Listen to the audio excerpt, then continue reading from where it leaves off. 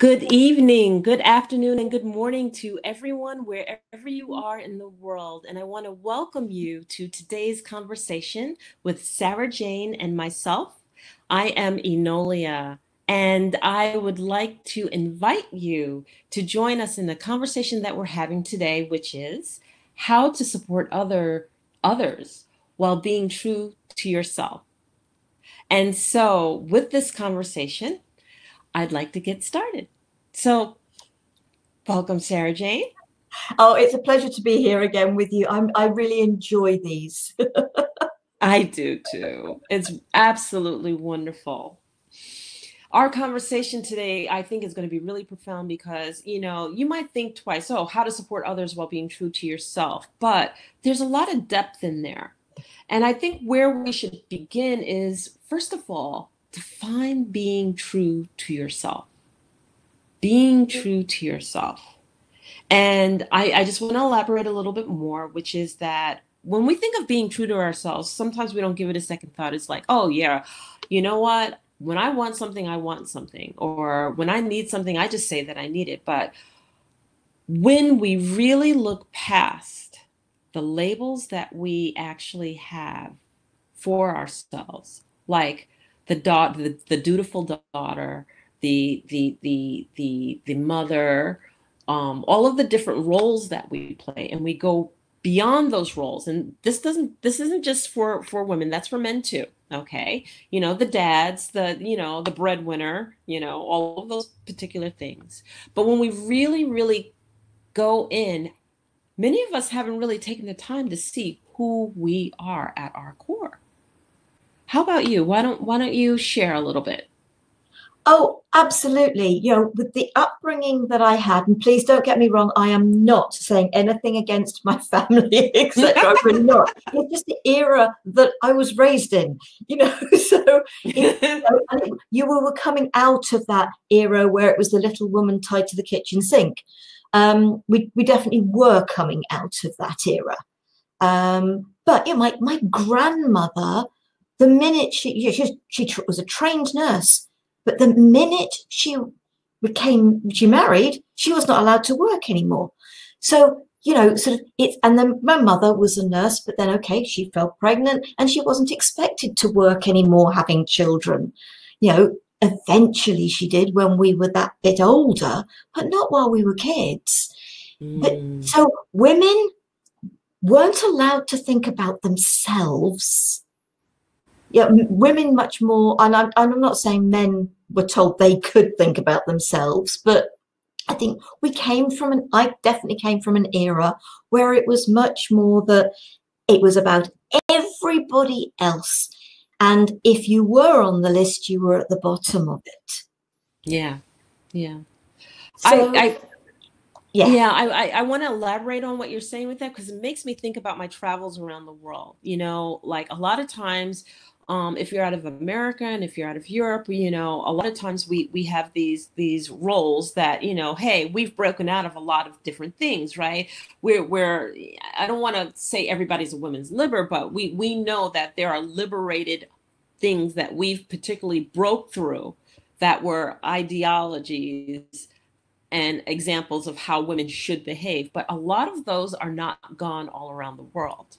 Mm-hmm. So men have this traditional role where they have to be the people who bring in the work, the money, and everything else. And the women are supposed to take care of the family, the children, the the the, the food, and so on and so forth. And and neither should two shall cross. Yeah. But I'm also finding that many of the people in these roles, the younger people, maybe not necessarily the, the the ones who are who've settled into it they're used to it. It's always been like this. It'll always be like this.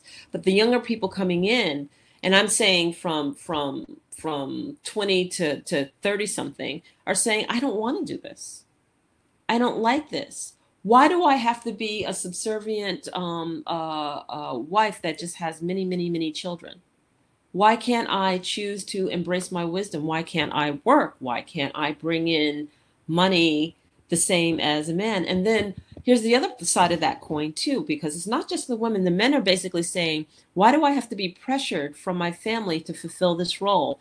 Why can't I share um, what I want to do in terms of having children with just my wife because the families in many traditions dictate the fact that you should have many, many children and not necessarily that it's kept between the husband and wife. And I know some people are like, what are you kidding in this day and age? But absolutely, absolutely in traditional families. So when you think about that, this is huge. This is huge.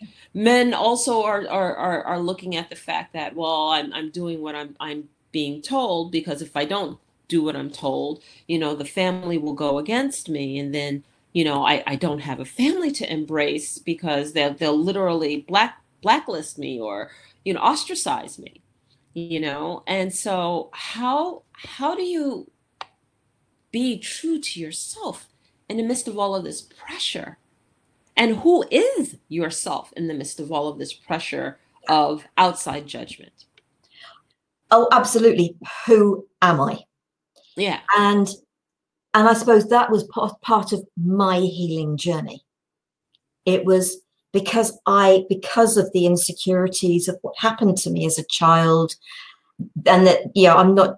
There's no judgment here. It was an accident, you know. So, uh, and I get, and I am absolutely 100 percent behind that. You know, I'm not blaming anybody here. Um, it was accident and then circumstances. But my insecurities made me a people pleaser. Mm-hmm. And people pleasers definitely give absolutely no consideration to themselves at all. They spend all their time worrying about other people, what they're thinking, what will keep them happy, etc., etc., etc. And it was that wake up call. Yeah, and, and that was thanks to something else that happened that left me so exhausted that I hadn't got the energy for all the people pleasing anymore. But then suddenly there was that thought in my head, and I don't know where it came from, but there was an enlightenment, if you like. Why am I worrying about what other people are thinking about me when they probably aren't? They're worrying about what's going on in their own life. They might even be worrying about what I'm thinking about them when I'm not. And it was just that, whoa, it was just that light bulb moment mm-hmm. of I can actually start finding me. What do I like doing?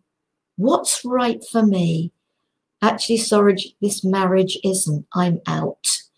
You know, it was taking, and it doesn't mean your marriage is over. It just was for me. It's talk to that individual. Is there anything that you can work together because if somebody has fallen in love with you, maybe they've seen in you something you haven't seen in yourself that you're now waking up to. Yeah. I was a chance. Mm-hmm.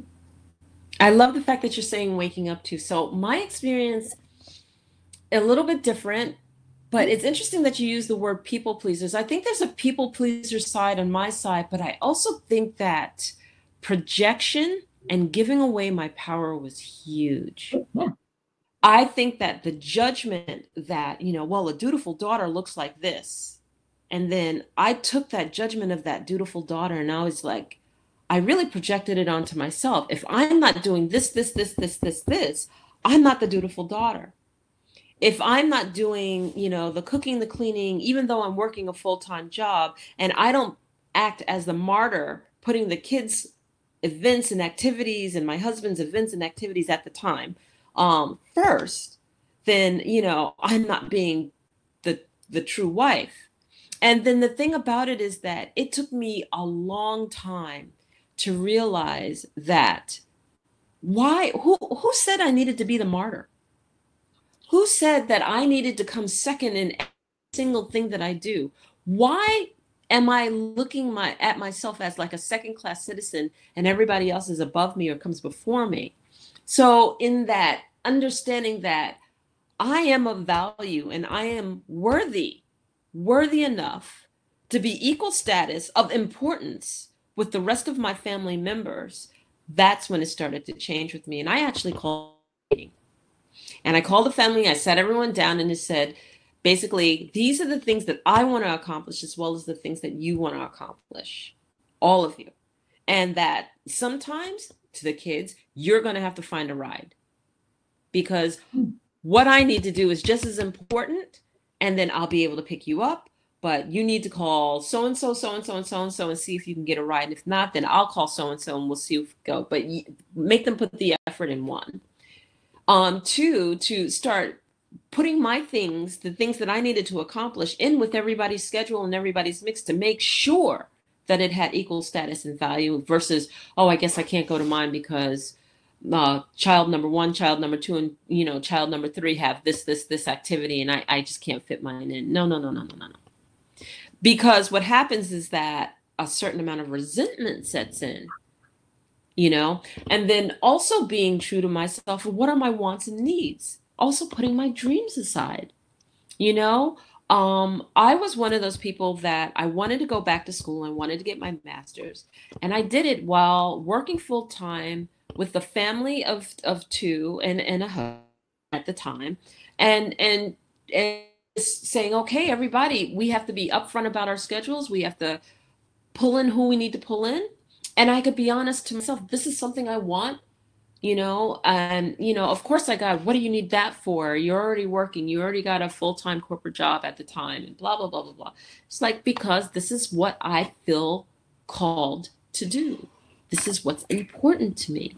So standing in the truth of what was important to me and then implementing and insisting that room be made for it so that i could fulfill my dream as they're fulfilling their dream wants and needs was so important. And I think that that's also part of stop giving away my power. Stop giving away all that's important to me. And in essence, giving it to, to people that basically, you know, didn't think twice about it. None whatsoever. So I'm going to go back to the projections and judgments of others and what people think of you, how powerful that can be. Has that ever affected you in your life? The projections and the judgments of others and just taking all of that on? I think it was. I'd like, yes, I'll, I'll answer that question in respect of projections and thoughts of others. Yes, of course, but that's the people pleasing side of me. That was the worrying about what other people thought about me. So, okay. yeah, absolutely, it affected me, whether they said anything or not. You know, and obviously, if people said something, then it really did affect me yes, I gave my power away left, right, and center. But going back to what you were saying, it's about when you turned around and said, I am going to at times say no. Because mm. it because and do you know what? That constant yes, that constant yes that I said, being the people pleaser, mm-hmm. absolutely was that was me too. was was so detrimental to two people me and the individual I was always saying yes to. Mm-hmm. Because you stop them from standing in their own power at the same time as stopping yourself from standing in your own power. So, how to support others whilst being true to yourself? Actually, the being true to yourself, as you were just describing, really empowers others. Yes. Because you're saying, what you're saying is, you've asked me this to, if I would do something for you. And the answer to that is, I am really sorry, that does not resonate with me. If they truly want that, they can make it happen for themselves. It doesn't have to be me doing it for them or me necessarily supporting them with it. And that's powerful. And that is so powerful. That is. So everything we've set up to this point is is leading to this point. When we learn to say no. No. Not ah, say it again. No, no, not, no. not no to ourselves, we've stopped saying no to ourselves mm-hmm. and we mm-hmm. started saying yes to ourselves. There are going to be times when somebody might ask you something, and it's, can you give me an hour or two, a half a day, a day, I will come back to you with a yes mm-hmm. or a no. Rather than saying yes and thinking, oh, why did I do that? And either letting them down or letting yourself down. Or both. You know, and it's just like, so be honest with your answer. Mm-hmm. If somebody asks and you're thinking, how does this feel? I need time.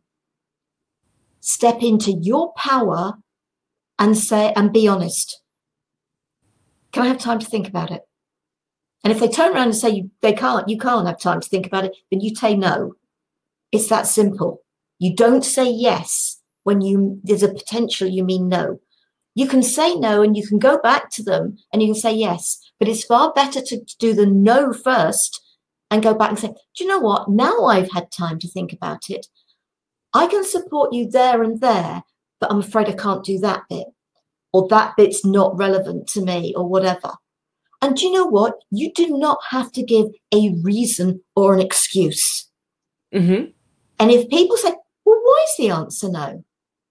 Because it don't work for me. Mm-hmm. but that's selfish. Uh-uh, excuse me. Can I just get you to look at that word selfish for a minute, please? Okay. So you are expecting me to do what doesn't work for me to keep you happy. Who's being selfish? Say it, sister. I, I am being honest. That's right. I am being true to me. And actually, in the process, I am empowering you.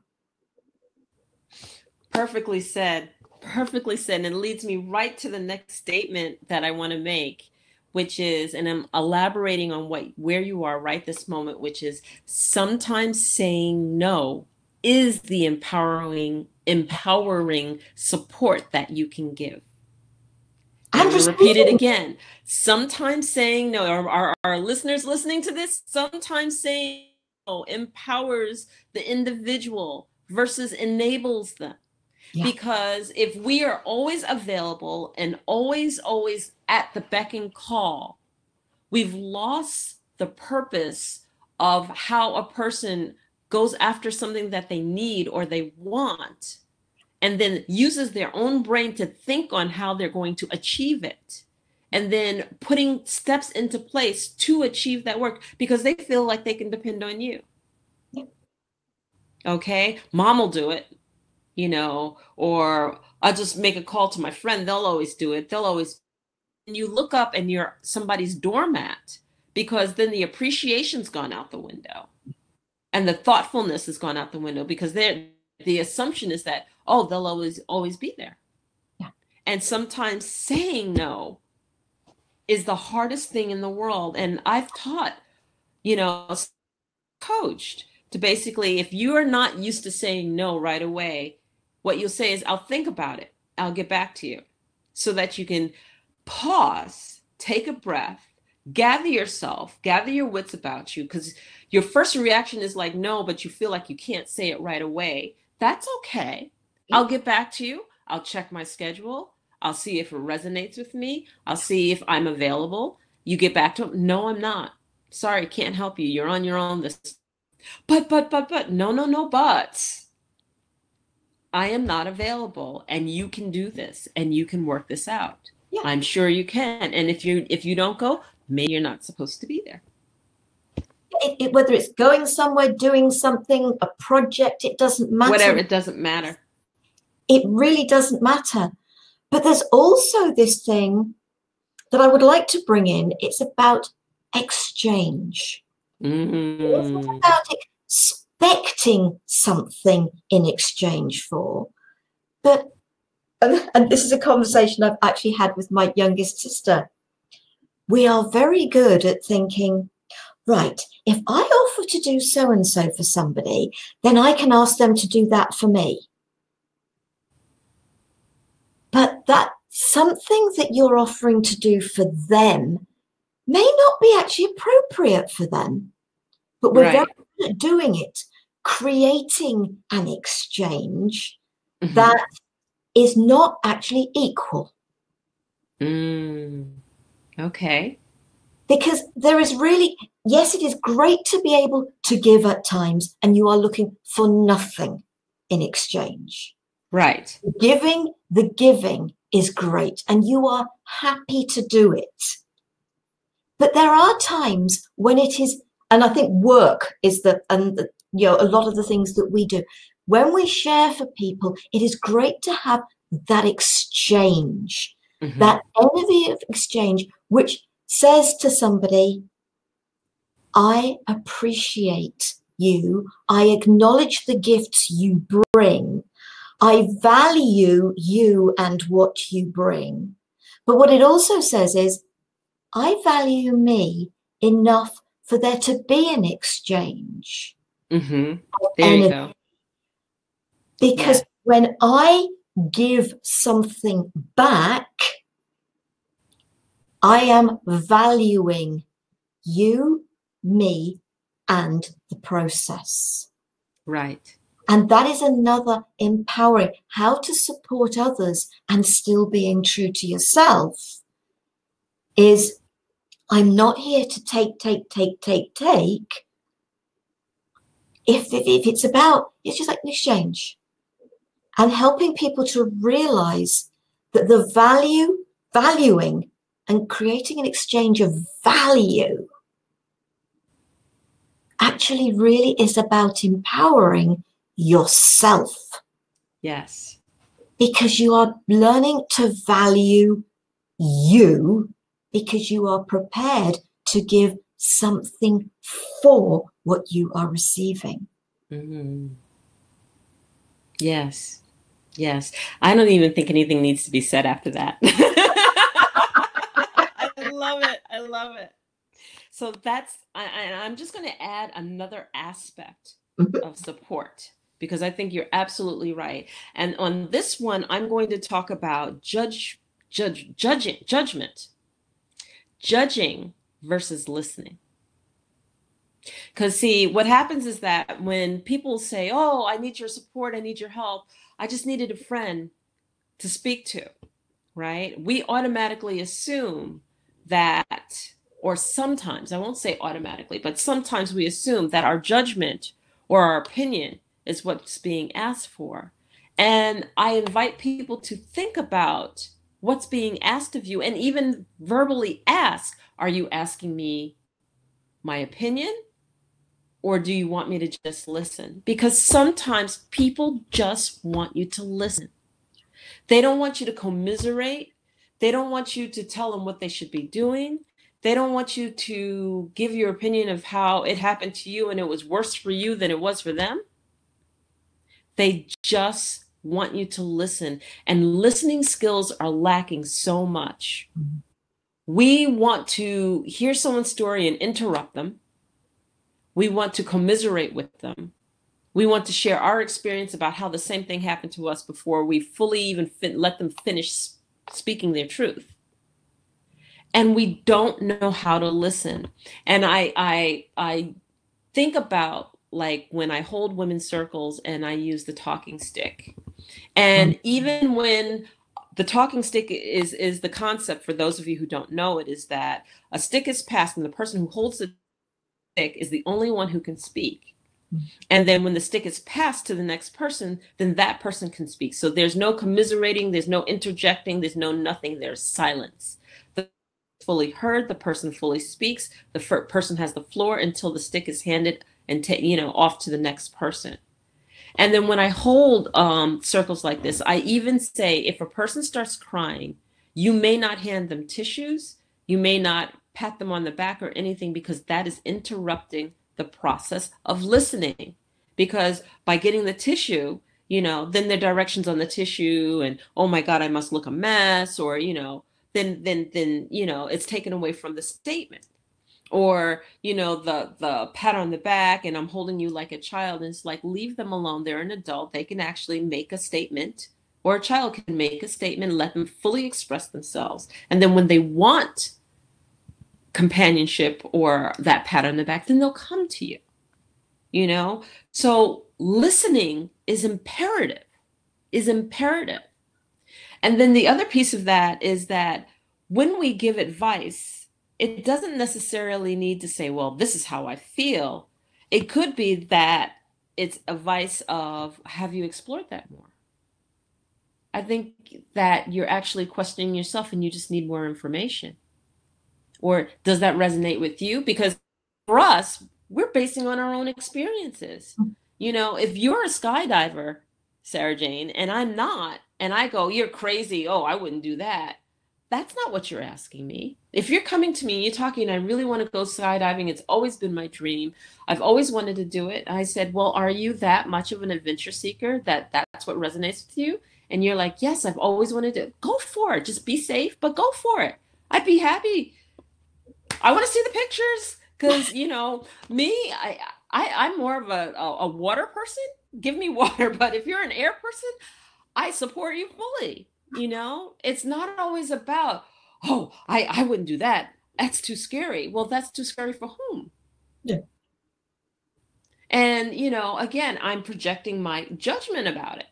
And that's not what you came there to ask me. And then the third leg of this, and I, I really want to drive this home, is that a lot of mm-hmm. times people seek for answers from others when they should be looking inside. And that's where I want to drive it home. The best support that you can do is telling a person stop looking outside of yourself for everyone's opinion, look inside yourself, sit with it a while. What resonates for you? What truly resonates for you? Talk with me through it. That's fine. But resonating inside to understand what it means to you is the most important because I'm not living it and I'm not doing it. You are. And I'll stop there. okay, try, try to go th- back through these. Um, one, I never give advice. I remember mm. um, when I was, um, oh, yeah, I went through my bits and pieces and I was going to a psychotherapist. And one day she said to me, Here, take my advice. I'm not using it because we're very good at giving advice we will not use ourselves. and, it, it's brilliant. And I have and I have so remembered that. And that was over 20 years ago. Uh-huh. So if people are looking to me for some thoughts, I will make a suggestion from what has worked for me unless I find myself channeling some stuff, and then I'm that then I'm out of it. um, I mean, where the heck did that come from? That's got nothing. to but it's still a suggestion. Um, so, but I'm I'm a practitioner of a technique called metamorphic technique. Mm-hmm. And the one thing that they are very, very strong about with the metamorphic technique is that you stay totally detached from any outcome and if the individual talk about politics and religion if you like, but which is the talk about. Um, but if they turn around to you and they ask a question, but oh, I fancy going to somebody who does shiatsu or something. Even if I knew somebody who did shiatsu, I couldn't say a word. They have to find the answers for themselves. Mm-hmm. And on one particular occasion, I had a client come to me for a session, and I was doing the gentle moves on the feet, the hands, and the head. And unusually, this particular client talked the whole way through. Usually, they just go to sleep. Mm-hmm. Talked the whole way through. And I was there, and I couldn't say a word as much as I was, as you said, you you want you listen because you and because to reply rather than listen to understand, and right. that's the difference. We listen to understand, not to reply. And at the end of the session, they said, "That was brilliant. That was exactly what I needed." what if you like? They connected with themselves. They'd answered their own questions. Own questions. Yes. So they didn't even need me to listen because actually they very much knew that I couldn't comment. even if I wanted oh, to. Uh, and, yes. and don't get me wrong, there were times and I was thinking, I so wanted to say something, but I honored the technique and the practice that I was was using. Yes. And the rules of it. And that individual, they went out as happy as a lark. Mm-hmm.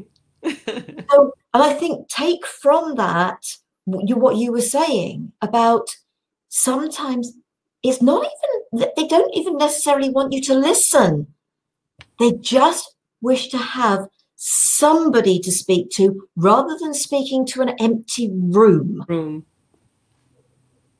Yes, yes. They want to feel heard, but they don't want to be heard by anybody but themselves. Mm-hmm. And if that is your way of getting inside, going inside, of listening to yourself, is to have that conversation outside. But then, if you're going to have somebody there, if that is what you are looking for, then please let them know.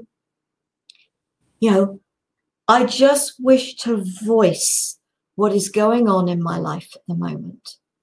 Yes. But please don't comment. In fact, if you don't want to even listen, it doesn't matter. Will you just please be there for me? Yeah, be just be present. And I have to agree with you on the channeling piece too, because I find that if something's coming through for some uh, for someone, I will ask, "Are you sure you want?" First, are you sure you want to hear this? Because, and then I also just let them know, just that there's certain rules of engagement, you know. But I always, always, always look for them to encourage going inside. That's that's number one. And the inside can be that having that conversation with yourself. Yes. Actually, that's what it should be. Absolutely. You know, when I think of the number of times I've gone for walks and, you know, and having thoughts, so I'm not necessarily speaking the words out loud, but I've allowed the thoughts and the inspiration, the light bulb moments that have happened from having that that allowing the put, putting thoughts and things into words. It is so important. So i suppose how can we support others with this conversation other than hopefully that they will have heard things that have helped them? Going inside doesn't mean how do i get into my heart? It means how do i open up to myself? Mm. Inside, open up. How do we step outside of our comfort zone? It's simple. We step back into ourselves. Mm-hmm. And yeah. yes, as much as it may feel, some things may feel, make us feel uncomfortable to start with, mm-hmm. it's only because it's pushing us. Exactly. Because it's helping us to grow. Mm-hmm. And we go back to the yes and no thing. We, we talked very much about us saying no. But some of the greatest gift we, we gifts we can receive are somebody saying no to us. Yes. Yes. Rather than yes to us. So it isn't about just saying no to others and yes to yourself. It is about hearing no said to you. Yeah. And receiving it. And receiving it as a gift. As a gift. Not just uh, uh, uh, harboring resentment because somebody said no and how dare they. Yes. Yeah. And um, so when when we circle back to the question how to support others while being true to yourself or whilst being true to yourself as as the British would say it. Old English, I think. That still comes out in me is is is is is it's just it's multi-tiered and multi-layered. Yeah. And if you look at it just as a simple statement, then you're looking at it very, very what's the word I want to use? Three we're in three dimension versus four, five, six dimension we're looking at very humanistic. Let me say it this way we're looking at it very vertical instead of linear. Okay. So we're horizontal instead of vertical. Excuse me, let me correct that. Erase that. horizontal instead of vertical. In other words, we're looking at it very plainly. We're looking at it in a very simplistic plane, and we are not plane beings. And this is, I think, what I want to summarize all of this up to is that when we look in a horizontal way, that's just one way of seeing. We are vertical, horizontal, 360 degree beings. There is not just one way. My mom used to say, there's no such thing as no, there's, there's such thing as not that way. There's not any just one way of doing anything, yeah.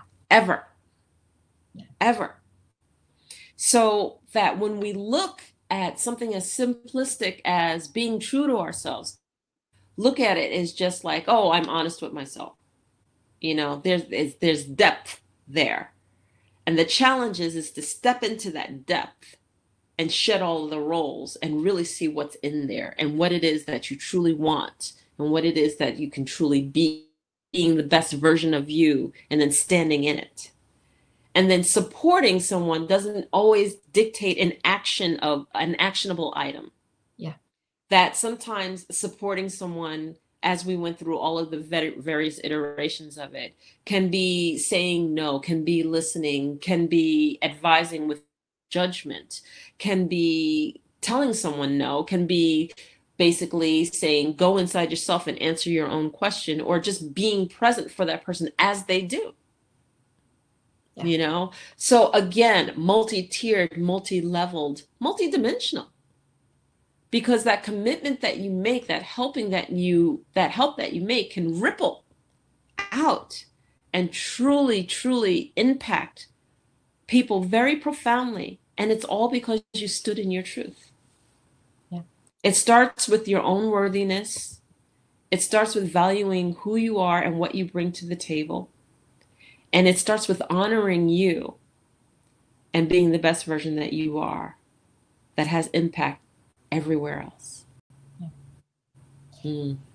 For me, supporting people isn't about doing things for people, it's about supporting them in a lot of cases to do it for themselves. Themselves. Yes. Because we don't grow while everybody is doing everything for us.